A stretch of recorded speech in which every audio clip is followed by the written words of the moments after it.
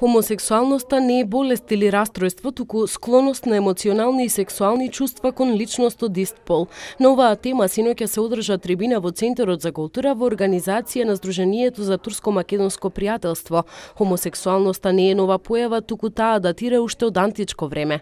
Во сите тие школи, и на Платон, и на Аристотел, сите тие войски на Александар, и покасно, во сите тие периоди, хомосексуалноста била застапена.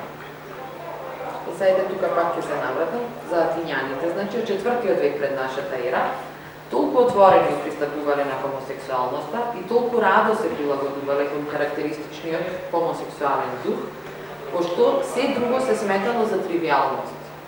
Уште од 1973 година се отфрла дефиницијата дека хомосексуалноста е расстройство, бидејќи овие луѓе немаат психички попречувања при професионалниот развој. Функционирањето на хомосексуалците во денешно време е доста одежнато од тој аспект што да речам се соочуваат со една стигматизација, маргинализација обштествена, семејна, социјална исто така, која што доведува до појава дополнителни психолошки расстройства кај нив.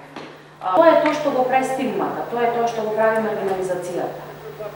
И треба да се подигне свеста, например, многу од нас и како професионалци, ние треба да знаеме на некој начин да им пружиме рака, пошто се уште постои тоа мислење дека хомосексуализмот е болест.